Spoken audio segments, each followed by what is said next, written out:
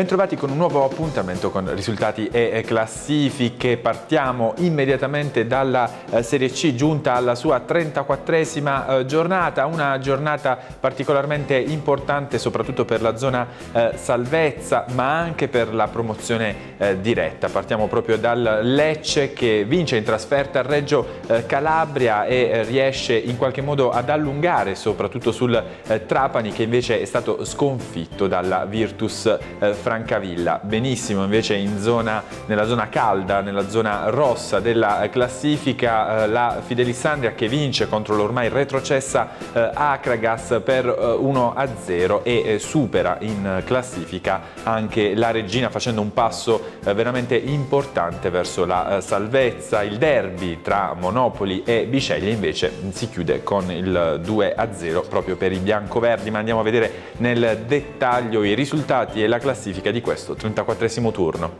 Casertana Sicula Leonzio 1-1, Cosenza Catanzaro 0-0, Matera Rende 0-1, Regina Lecce 0-1, Virtus Francavilla Trapani 2-0, Fidelissandria Acragas 1-0, Fondi Paganese 4-5, Monopoli Biceglie 2-0, Catania Juve Stabia il posticipo del lunedì ha riposato il Siracusa in classifica guida il Lecce con 68 punti, Trapani e Catania 63, Monopoli 48, Matera 47, Juve Stabia e Rende 46, Cosenza 45, Siracusa 44, Virtus, Francaville e Sicula Leonzio 42, Casertana 41, Biceglie 38, Catanzaro 37, Fidelissandea 35, Regina 33, Paganese 32, Fondi 26, chiude l'Agragas con 10 punti.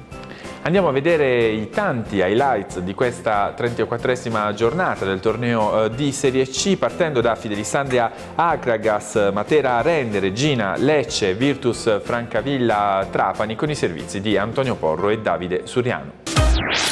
Passo decisivo verso la salvezza per la Fidelissandria che al degli Ulivi supera 1-0 l'Acragas, fanalino di coda del campionato, in una partita dominata per oltre 85 minuti dai biancoazzurri. Nel finale l'espulsione di Celli ha dato solo un leggero brivido ai tifosi andriesi. Papagni conferma il 3-5-2, recupera in extremis abruzzese Lancini e Taurino. Out Mauro Antonio tra i pali spazio a Cilli, in mediana rientrano Piccini e Longo, Tiritiello passa a destra, in avanti al fianco proprio del recuperato Taurino c'è Lattanzio Lazio. Cambia molto anche Criaco rispetto alla sfida casalinga contro la Virtus Francavilla, chance per Caternicchi e Saite in mediana. In avanti l'inedita coppia Camarà-Moreo. Parte con il piede sull'acceleratore la Fidelis che si rende pericolosa al secondo minuto, azione dalla destra di Taurino e sponda di Lattanzio per Piccini che calcia dal limite. Lo Monaco si rifugia in angolo. Quattro minuti più tardi cross dalla sinistra di Lancini e colpo di testa di Lattanzio. Lo Monaco blocca senza difficoltà.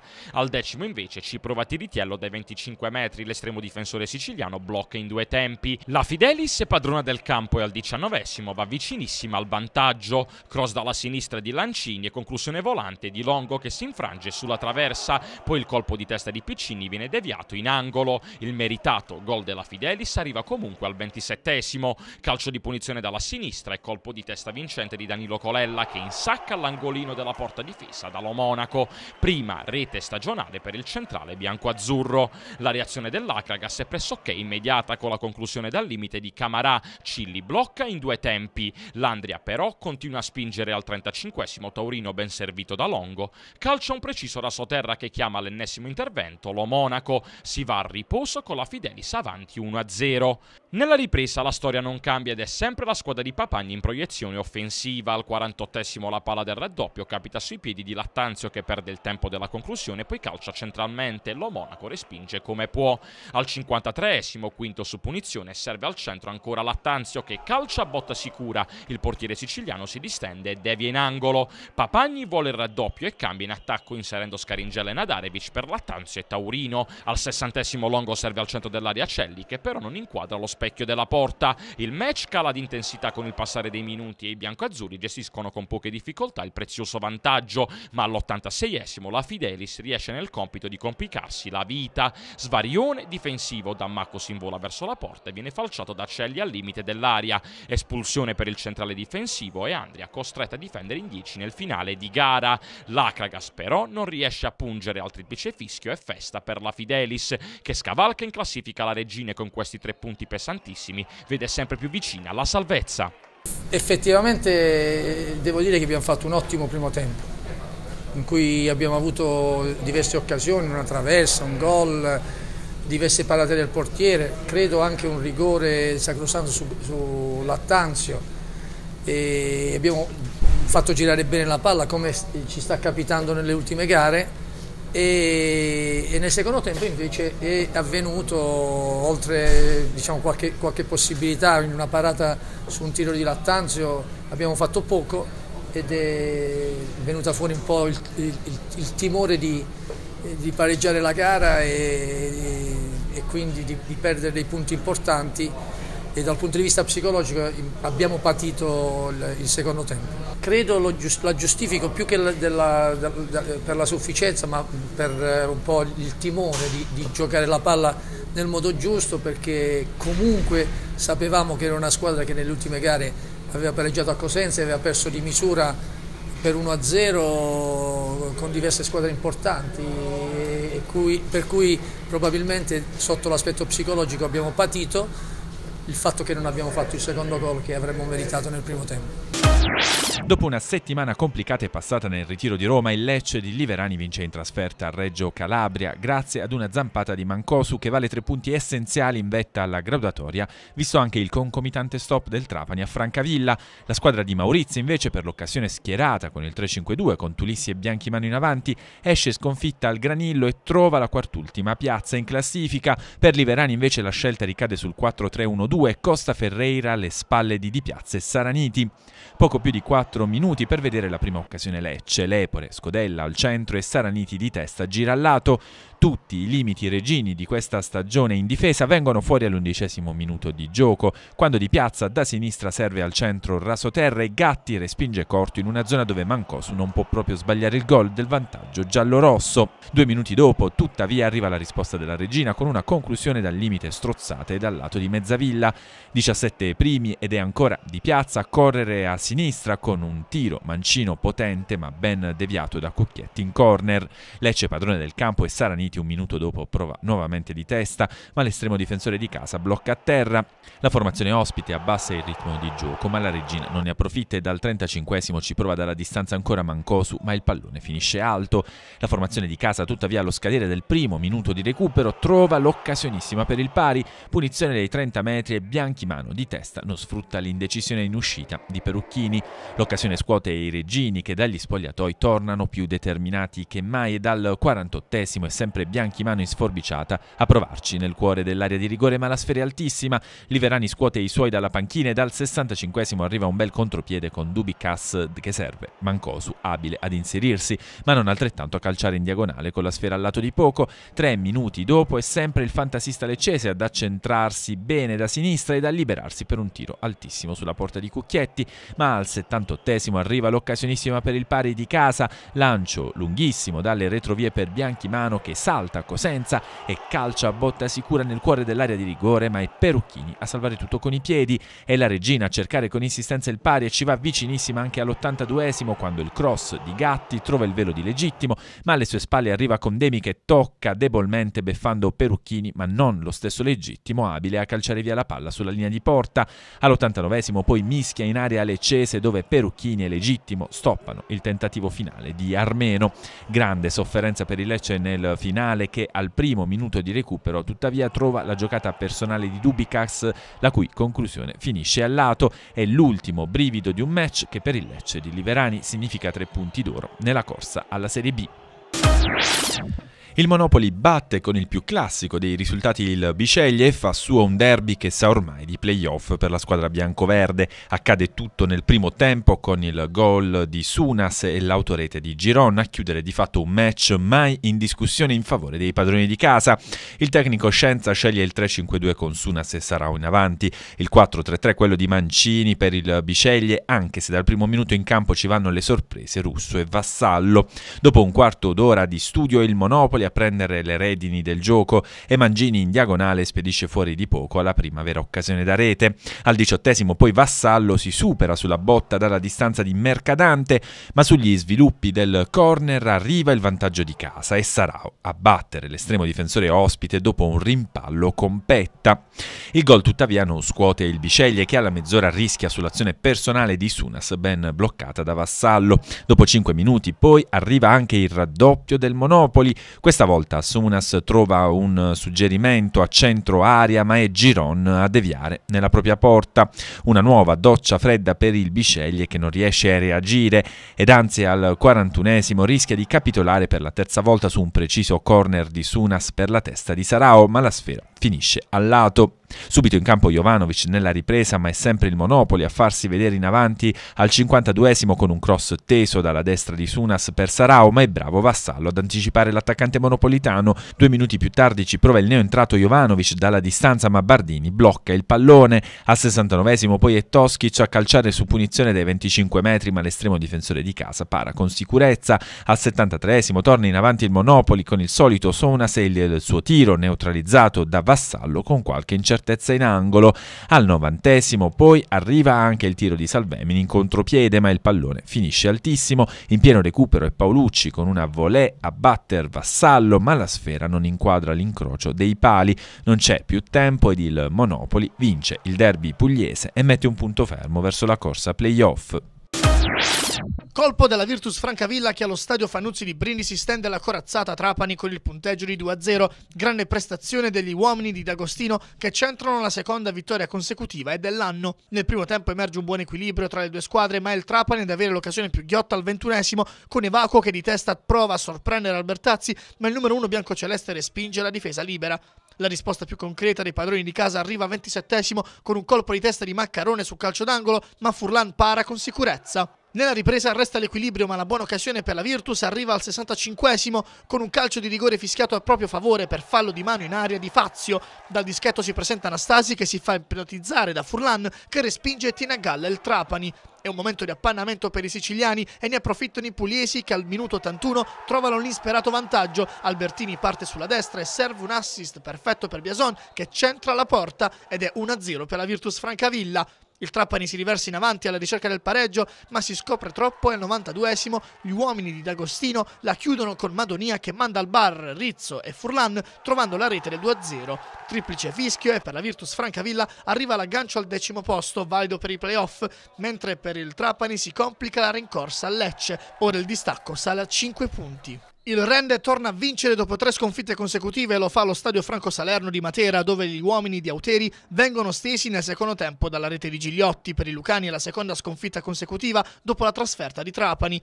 Nel primo tempo è il Matera a rendersi subito pericoloso con un colpo di testa di Gilli che impegna De Brasi al super intervento in volo. Miracoloso nell'occasione, il render risponde al ventinovesimo con Gigliotti che supera la difesa, ma tu per tu con Tonti si fa ipnotizzare, fallendo il possibile vantaggio.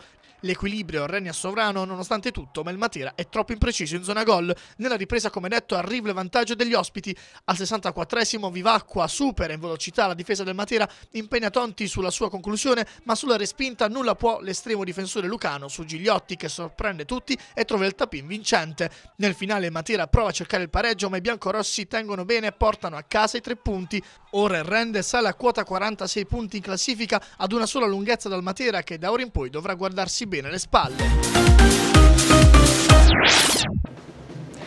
Passiamo alla Serie D, trentesima giornata, dunque quattro gare al termine della regular eh, season e il Potenza continua la marcia verso la eh, Serie C vincendo un'importante gara contro il Gravina in trasferta. Eh, il Taranto invece batte la Cavese che resta ancora seconda in classifica dando naturalmente un assist importante ai Lucani. Matematicamente ai playoff proprio il Taranto Taranto in compagnia di Cerignola e Altamura, nulla da fare per il Gravina proprio sconfitto dal Potenza, ma vediamo nel dettaglio i risultati e la classifica di questo trentesimo turno, ricordando anche che la Sporting Fulgor è la prima matematica retrocessa da questo campionato. Alto Tavoliere Audace Cerignola 0-0, Francavilla verso Normanna 4-0, Taranto Cavese 2-1, Frattese Gragnano 0-0, Sporting Fulgor Manfredonia 1-3, Pomigliano Sarnese rinviata, Gravina Potenza 0-1, Picerno Team Altamura 1-2, Nardò Turris 1-1. In classifica guida il Potenza con 74 punti, Cavese 66, Team Altamura 63, Audace, Cerignola e Taranto 59, Gravina 47, Vicerno 46, Nardò 45, Gragnano 36, Francavilla 33, Turris 32, Sarnese 31, Pomigliano 29, Alto Tavoliere 27, Frattese, Aversa Normanna 26, Manfredonia 16, chiude la Sporting Fulgor già retrocessa in eccellenza con 12 punti. Di questo trentesimo turno andiamoci a rivedere Taranto Cavese e Gravina eh, Potenza grazie ai servizi di Mario Borracino ci mettono impegno, determinazione, spensieratezza e tanta forza di volontà i giovani del Gravina. Conquista invece il massimo risultato con il minimo sforzo il Potenza. La prima della classe detta legge anche sul sintetico del vicino con questo gol realizzato poco dopo il quarto d'ora della prima frazione da Siclari. Una rete per tre punti importantissimi che valgono di fatto una seria ipoteca sulla promozione diretta tra i professionisti. La formazione di Nicola Ragno quando mancano quattro turni al termine della stagione regolare può infatti vantare ora otto punti punti di vantaggio sulla Cavese, sconfitta a sua volta a Taranto. Grande festa per i 2000 sostenitori rossoblù giunti sulla Murgia. Padroni di casa con tanti giovani in campo, pericolosi in avvio con una punizione di Molinari, disinnescata da Brezza, poi sale in cattedra Siclari che prima sfiora il gol di testa e successivamente rompe l'equilibrio sfruttando al meglio l'assist di qualità servito da Coccia. Il vantaggio galvanizza il Potenza, pericoloso prima della mezz'ora con Coppola il cui colpo di testa termina sul fondo. Ospiti in vantaggio all'intervallo. Il Gravina prova a giocarsela senza timori reverenziali anche nel corso della ripresa, ma sono i Lucani a rendersi pericolosi con Franza, ottima la replica di Loliva, e con l'ex Guadalupi che colpisce la traversa sugli sviluppi di un calcio d'angolo. La migliore palla gol per il pareggio dei locali capita poco dopo l'ora di gioco a Ceglie, che però non inquadra lo specchio da posizione favorevole. Ci prova a metà frazione il neo entrato Caruso, Brezza c'è e riesce a deviare in corner, poi chance di testa per Dorsi, ma anche questa volta senza effetti positivi per il Gravina, idem poco dopo sulla sventola dalla distanza di Balzano. Il Potenza resiste e conduce in porto un successo molto probabilmente decisivo nel duello promozione con la Cavese. I Murgiani di contro cancellano anche le ultimissime speranze di raggiungere la zona playoff, ma lasciano il campo a testa alta e mettono ancora una volta in vetrina giovani interessanti e di sicuro a venire. Iacovone inespugnabile e Taranto matematicamente ai playoff, con quattro turni di anticipo dopo il successo nel big match contro la Cavese, doppio ancora nella ripresa e squadra di Cazzaro sempre concreta e cinica tra le mura amiche. Per la formazione campana di Bitetto invece uno stop che significa probabilmente l'addio alla prima piazza in favore di un Potenza vittorioso in terra pugliese contro il Gravina. Il 4-2-3-1 Tarantino ha in favetta l'unico terminale offensivo assistito dal trio Lorefice d'Agostino Ancora. Per la Cavese invece il classico 4-3-3 con Oggiano, Martino Martiniello e Fella in avanti. Gara subito viva e Gavese con Oggiano al terzo minuto, ma Pellegrino respinge. Poi occasionissima Taranto al decimo, ancora perfettamente imbeccato da D'Agostino a tu per tu con bisogno, si fa respingere però il tiro. Tre minuti ed una errata respinta di Miale, trova pronto Fella che aggancia ma manda al lato. Sempre l'attaccante esterno Campano al diciottesimo prova una conclusione pericolosa ma al lato rispetto alla porta difesa da Pellegrino.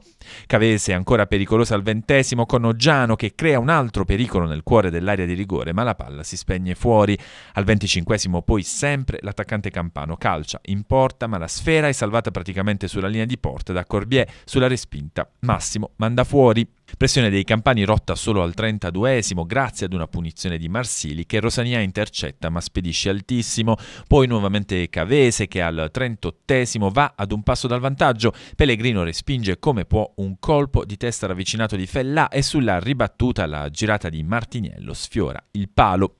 Tanta Cavese poco Taranto per un primo tempo che si chiude senza altri particolari pericoli, ma nella ripresa cambia il film della partita e gli ionici cercano subito il vantaggio. Neanche un giro di lanciato lancette e la girata di Lorefice nel cuore dell'area di rigore trova pronto bisogno alla respinta, estremo, ospite che è attento anche sulla ribattuta dello stesso attaccante pugliese.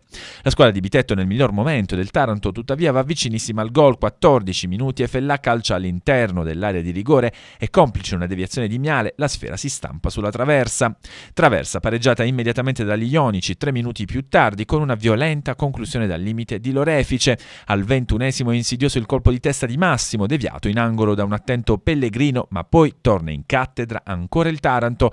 Al ventitreesimo, occasionissima per Ancora, il quale all'interno dell'area di rigore si libera di un difensore ma calcia alto tutto solo davanti al portiere. Al ventiseiesimo, tuttavia, lo stesso Ancora non fallisce il vantaggio. Assist dalle retrovie di Marsili per l'attaccante tarantino che calcia bene e segna la rete del vantaggio rosso-blu. Doccia fredda per la Cavese che subisce il colpo e concede campo al Taranto che trova anche il raddoppio quasi immediato immediato, 34 minuti di gioco della ripresa e sul corner del solito Marsili arriva l'incornata di testa perfetta di Ancora. 2-0 ed ospiti sorditi sino al 42esimo quando Martignello, perfettamente servito da Oggiano, accorcia le distanze battendo Pellegrino. A nulla però servono i 5 minuti di recupero assegnati dal direttore di gara e Taranto vittorioso allo Iacovone per la festa dei tifosi rossoblù in vista dei playoff.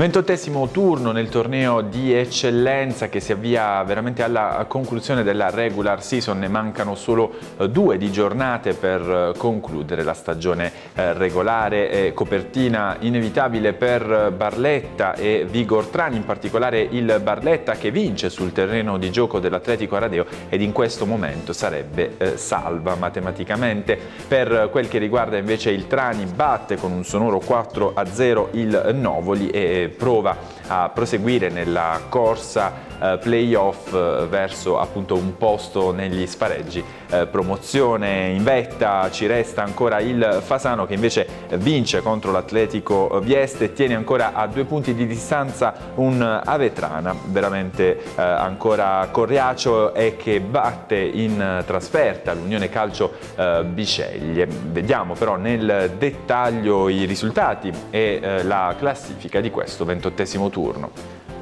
Fasano Atletico Vieste 2-0, Unione Calcio Biceglia Vetrana 1-2, Atletico Aradeo Barletta 0-1, Galatina Casarano 0-5, Gallipoli Corato 1-2, Vigor Trani Novoli 4-0, Molfetta Omnia Bitonto 2-3, Bitonto Otranto 1-0.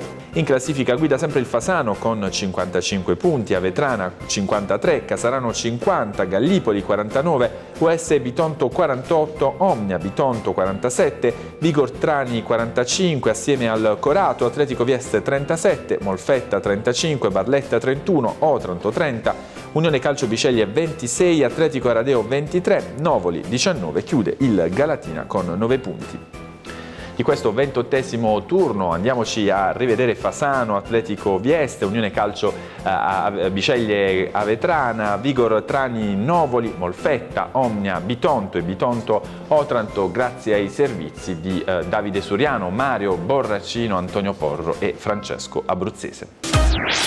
La Vigor Trani, nonostante l'ampio ed inevitabile turnover, marcia a ritmi notevoli. Allo stadio comunale i ragazzi di Mister Piazzulli battono il Novoli siglando ben 4 reti a 0. Prestazione senza storia e soprattutto senza distrazioni, quella messa in campo dei tranesi che mercoledì prossimo affronteranno la gara di andata di Coppa Italia contro l'Unipomezia. Nel primo tempo la Vigor ci mette 7 minuti per trovare il vantaggio, cross dalla sinistra di Faccini e rete di Camporeale dopo una mischia in aria. Il Novoli non riesce mai ad impensierire i tranesi e al 42esimo infimo trova una clamorosa traversa. Prima della fine del primo tempo l'arbitro assegna un calcio di rigore a favore della Vigor per un fallo subito dallo russo in aria. Dal dischetto Faccini non sbaglia e manda le due squadre a riposo sul punteggio di 2-0. Nella ripresa la musica non cambia, il Novoli non scende mai in campo e la Vigor Trani prova a chiuderla in fretta. Al 34esimo lo russo si guadagna il secondo calcio di rigore di giornata, si incarica della battuta lo stesso attaccante che dagli 11 metri non sbaglia ed è 3-0. Nel finale a quarantesimo Infimo chiude ulteriormente i conti con un tiro a giro imprendibile per l'estremo difensore ospite. Triplice fischio, la Vigor Trani batte 4-0 il Novoli, Ora testa a mercoledì 11 aprile quando al Comunale alle 15 arriverà l'Unipomezia per la semifinale di andata di Coppa Italia. Tre punti fondamentali per la rincorsa ai playoff, come sono fondamentali le tre reti segnate. Al comunale di Terlizzi l'Omnia Bitonto batte soffrendo nel finale per 3-2 il Molfetta. Mister Giusto deve fare a meno di Dentamaro. Per il resto schiera la solita formazione con in attacco Stefanini, Facecchia e Albrizio. Per quanto riguarda gli ospiti, invece, Mister De Candia deve fare a meno di Lizzano, espulso per doppia munizione nel recupero di giovedì contro l'Unione Calcio Biceglie, e fa rifiatare De Santis, Zotti e Picci. Al loro posto giocano titolari Vitucci, Turitto, Dellino e La Dogana. I padroni di casa partono forte. Al primo minuto Augelli vede l'estremo difensore ospite fuori dai pali e con un pallonetto insacca la palla in rete, ma il guardalinea annulla il gol per fuorigioco. Al quinto minuto sono i bianco-blu a rendersi pericolosi con Paterno, che calcia in porta ma trova un pronto Savut che respinge la conclusione. Nel proseguimento dell'azione Turitto arriva in area di rigore ma viene messo a terra da due difensori molfettesi. I bitontini reclamano il calcio di rigore ma l'arbitro opta per la munizione per simulazione. Quattro minuti più tardi il Molfetta si rende pericoloso da palla inattiva con lo russo. Al diciassettesimo i biancorossi, ancora in evidenza sul calcio di punizione, a calciare questa volta Ugelli, ma Vitucci respinge la sfera in corner. Alla mezz'ora arriva il vantaggio omniano. Ad entrare nel tabellino dei marcatori Patierno, che lasciato tutto solo, ha il tempo di fermarsi e calciare la sfera nell'angolo dove Savut non può arrivare. Al 39esimo arriva il raddoppio degli ospiti. A segnare è la dogana, che viene dimenticato un'altra volta dalla difesa. Savut riesce solo in parte a parare il tiro dell'attaccante che termina però in rete. La prima frazione si chiude sul punteggio di 2-0 per i bitontini. Il secondo tempo si apre con l'espulsione al decimo minuto di Pinto per fallo sulla dogana in area di rigore. Veementi sono le proteste dei padroni di casa che non cambiano il pensiero dell'arbitro.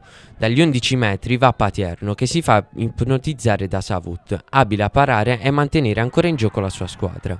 Al tredicesimo Martinelli da palla inattiva colpisce la palla di testa che finisce di poco a lato. Al quarto d'ora Patierno cerca di rifarsi dall'errore del rigore calciando dal lato destro dell'area, ma Savut respinge in corner.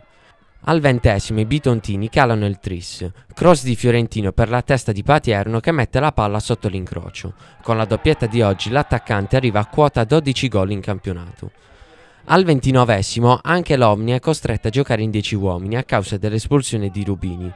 Dal successivo calcio di punizione il Molfetta accorcia le distanze. Augelli calcia ma Vitucci respinge debolmente. Sul pallone si fionda Fabiano che sbaglia il primo tentativo. Poi però Paradiso insacca il secondo gol. Al 35esimo i padroni di casa riaprono la partita. Dal corner battuto da Rosselli la palla carambola verso Festa che appoggia la palla in rete.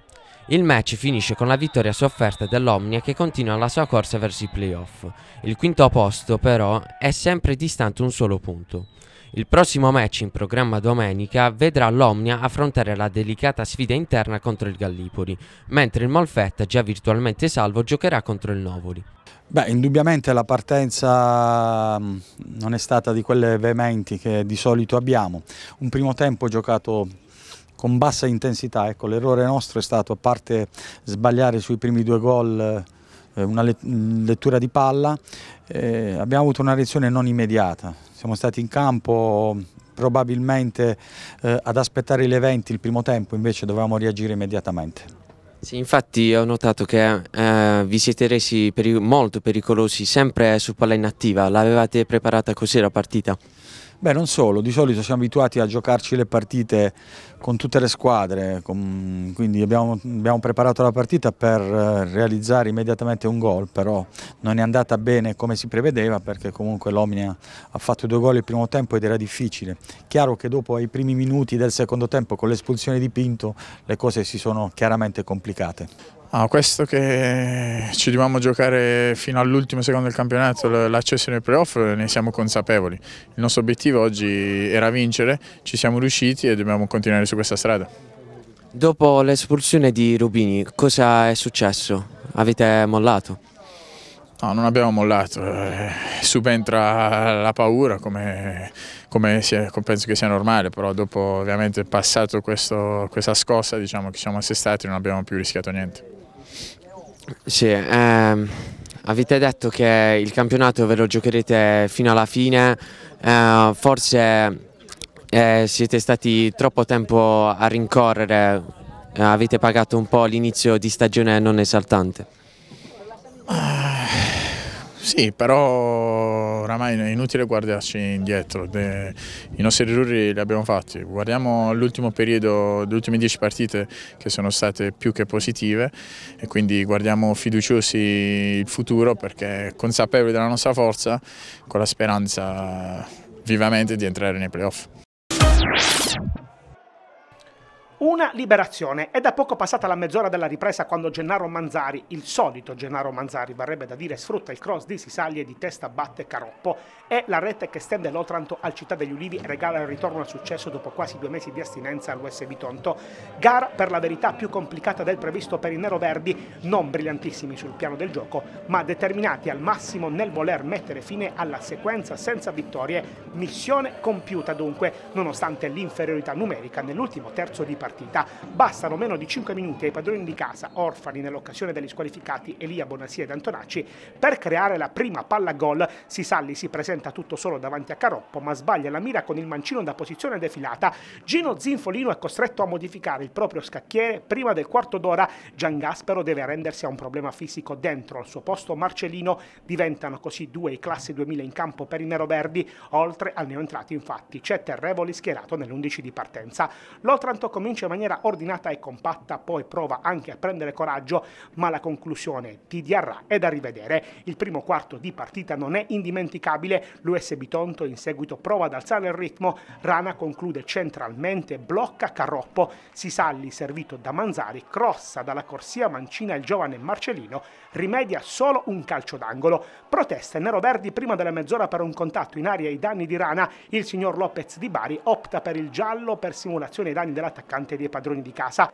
Il 10 Bitontino servito da Manzari ci prova poco dopo con il sinistro, traiettoria alta. Altre proteste nel finale di tempo. Gli uomini di Gino Zinfolino chiedono rigore per un presunto tocco proibito in aria sugli sviluppi di un tiro di De Santis, ma il direttore di gara lascia correre. Ghiotta occasione prima del riposo anche per i salentini. Ci vuole una super risposta di Addario per opporsi alla conclusione di Mancarella. 0-0 dunque all'intervallo. La ripresa si apre con un'altra novità nel Bitonto. C'è Piperis al posto di Aprile ed è proprio il new entrato in apertura a sfiorare il gol del vantaggio. Conclusione alta sopra la traversa. Pitonto pericolosissimo poco dopo, ma il colpo di testa di Manzari su cross proveniente dalla corsia mancina difetta in precisione, non per molti centimetri per la verità. Il copione è consolidato, i neroverdi attaccano, l'Otranto si difende, Terrevoli dopo l'ora di gioco verifica i riflessi di Caroppo abile a respingere, poi però si complica la gara dell'US quando De Santis si becca il cartellino rosso per somma di gialli e lascia i suoi in dieci uomini. Nonostante la differenza numerica in campo, però lo spartito non cambia. Palla geniale, metà frazione di Manzari che si sale non sfrutta a dovere e solo corner sull'opposizione di Carroppo. Nulla può il portiere degli Druntini, però poco dopo, sul colpo di testa vincente di Manzari su assist di Sisalli, da rapinatore d'aria il centro del 9 Bitontino che spacca in due la partita. Padroni di casa in vantaggio. L'Otranto, nonostante la superiorità numerica, non sa reagire, anzi sono i neroverdi nel primo primo dei 5 minuti di recupero, a sfiorare il raddoppio con Terrevoli che non sa incidere tutto solo davanti a Caroppo e fa infuriare il neo entrato Terrone ben appostato sul secondo palo. Poco male in ogni caso per gli uomini di Zinfolino, vincono comunque per 1-0, ritrovano la via del successo dopo 4 pareggi consecutivi e 6 partite di fila senza gioire per i 3 punti, confermano la quinta posizione in classifica e restano artefici del proprio destino nella rincorsa ad un piazzamento playoff. La salvezza per gli Druntini invece sarà tutta da conquistare nelle ultime due puntate della stagione regolare. Il Fasano vince sul proprio terreno col Vieste e si prepara ad affrontare un finale di fuoco con la trasferta di Avetrana e allo scontro interno con il Casalano. Il tecnico Giuseppe La Terza è in piena emergenza, dovendo fare a meno dello squalificato Montaldi, match winner all'andata, e degli infortunati Morga e De Vita. Fumai e Girardi non sono al meglio, mentre l'unica nota positiva viene dal ritorno di Lanzillotta che viene subito schierato in mezzo al campo. Passano 50 secondi e il Fasano è subito pericoloso. Lancio di Lanzillotta per Corvino che calcia di poco al lato. Al terzo angolo di Corvino, colpo di testa di Dirito che sfiora la porta. Stessa sorte un minuto dopo. Traversone di Corvino dalla sinistra e ancora colpo di testa di Dirito che manca nuovamente il bersaglio. Ma il vantaggio arriva al dodicesimo. Sponda di Dirito per Serri che ha un buon controllo e batte Tucci con un gran destro. Al ventisesimo altro calcio d'angolo di Corvino e altro colpo di testa di Dirito che sfiora il raddoppio. Al ventinovesimo grande occasione occasione per il Fasano. Lancio di Lanzilotta con Serri che si presenta tutto solo davanti a Tucci che compie un miracolo sul destro del numero 7 fasanese. Al 36esimo lancio di Ganci di Rito che si invola sul filo del fuorigioco, tutto solo davanti a Tucci si fa parare la conclusione. Al 39esimo Serri mette in mezzo ancora per Di Rito che al volo calcia alto. Al 44esimo capita sui piedi di Bernardini la palla del raddoppio, ma il giovane calciatore di casa, ben servito da Corvino, spara alto. La prima frazione di gioco si chiude così sull'1-0. Dopo 30 secondi dall'inizio della ripresa il Fasano ancora pericoloso. Cross di Serri e tocco di Dirito di poco fuori, ma il centravanti del Fasano si sblocca al 58esimo quando mette dentro un bel cross di Bernardini per il 2-0. Al 65esimo altra grande giocata di Serri per Corvino che tenta una giocata alla Cristiano Ronaldo ma mette fuori. Al 69esimo è Dirito a sprecare l'ennesima sgroppata di Serri, palla di poco alta. All'81esimo primo tiro del Vieste, lo scopre tocca De Vita ma finisce fuori. All'85 però è il Fasano a sfiorare il tris. Traversone di Pistoia è girata al volo di Fumarola di poco fuori. Miracoloso Tucci all'86 con un doppio intervento prima su Corvino e poi su Dirito. Un minuto dopo è il Vieste a colpire il palo con De Vita. È l'ultima emozione. Domenica ad Avetrana ci si gioca il campionato. Prima sconfitta interna al Di Liddo che fa malissimo all'Unione Calcio Bisceglie, la formazione di Mister Rum cede 2-1 alla Vetrana e rende sempre più complicato il cammino verso la salvezza diretta. Match che appare subito in discesa per gli azzurri che al quarto minuto sbloccano il risultato con Mignonia, artefice di uno splendido calcio di punizione che non lascia scampo a Petranca. 60 secondi dopo lo stesso numero 10 azzurro si rende protagonista di un sinistro a giro che termina di poco al lato.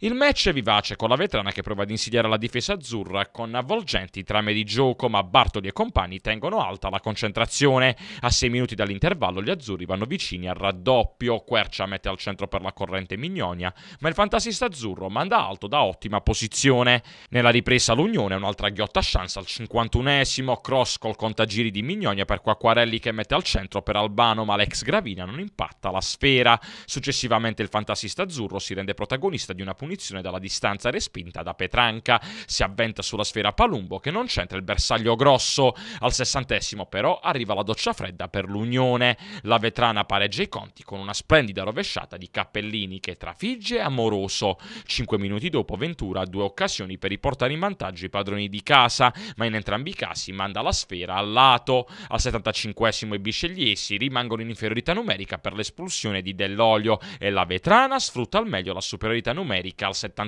79esimo quando Salto trova la rete del 2-1 sugli sviluppi di un corner. Nel finale c'è l'assalto del team biscegliese all'83esimo Mignonia si rende protagonista di una bordata su punizione che spacca la traversa, mentre in pieno recupero Ventura si fa ipnotizzare dal portiere salentino. Finisce con la festa della vetrana che vede sempre più vicina la vetta e la delusione per l'Unione Calcio che a due giornate dalla fine vede sempre più vicini gli spareggi play-out. Chiudiamo con la Serie A di calcio a 5 dove il Cisternino impegnato nella 24esima eh, giornata di questo eh, torneo perde in casa della eh, Luparense che adesso è la capolista di questo torneo ma perde insomma ben figurando con un solo gol di scarto. In questo torneo c'è stato in settimana il ritiro del Pescara che adesso di fatto risulta a 0 punti punti in classifica, ma andiamo a vedere immediatamente i risultati e la classifica di questo 24 turno. Acqua e Sapone IC Futsal 4 a 3, Latina Lazio 6 a 4, Caos Reggio Emilia Camedosson 5 a 3, Pesaro Felli Eboli 3 a 0, Luparenze Cisternino 4 a 3, Milano Calcio a 5 Pescara 6 a 0, Real Rieti Napoli Calcio a 5 1 a 1. In classifica guida la Luparense assieme all'Acqua e Sapone con 52 punti, Camedosson 50, Napoli Calcio a 5 44, Real Rieti 40, Caos Reggio Emilia 39, Pesaro 37, Latina 32, Feldi Eboli 24, Cisternino e Cifuzzal 21, Lazio 16, Milano Calcio a 5 13, chiude il Pescara con 0 punti, come detto già retrocesso perché ritiratosi dal torneo di questa giornata andiamoci a rivedere proprio gli highlights di eh, Luparense Cisternino con il servizio di Antonio Porro. Un coriaceo e arcigno cisternino cede di misura ai campioni d'Italia della Luparense dopo una sfida combattuta e ben giocata dalla formazione di mister Giannandrea. Nonostante una rosa ridotta all'osso e le pesanti assenze di Capitan Bruno e Iosico, i giallorossi vendono cara la pelle nello storico palasport di San Martino di Lupari, costringendo il team di Marin a soffrire sino al suono della sirena. Finisce 4-3 in terra veneta, un risultato che lascia intatte le speranze e salvezza della squadra cistranese, ormai vicinissima all'obiettivo dopo il clamoroso ritiro del Pescara. Partono fortissimo i padroni di casa che con uno scatenato Borga Blanco si portano sul 2-0 nei primi 5 minuti. Il match appare in discesa per la Luparense che però deve fare i conti con la reazione del Cisternino. Fabigno al decimo accorcia le distanze e poi sempre il pivo brasiliano firma il 2-2 a pochi secondi dall'intervallo. Ad inizio ripresa la Luparense allunga nuovamente con le reti di Jefferson al terzo minuto e Iesulito al tredicesimo ma i giallorossi non mollano mollano la presa e a 4 minuti dalla fine accorciano le distanze con Fabigno, protagonista di giornata, con una tripletta. Nel finale la squadra di Giannandrea prova il tutto per tutto per strappare un punto ai campioni d'Italia che però si difendono con ordine sino al triplice fischio. 4 a 3 finale ed applausi per entrambe le contendenti. Sabato prossimo il Cisternino tornerà sulle tavole amiche del Palawetila per affrontare il Real Rieti.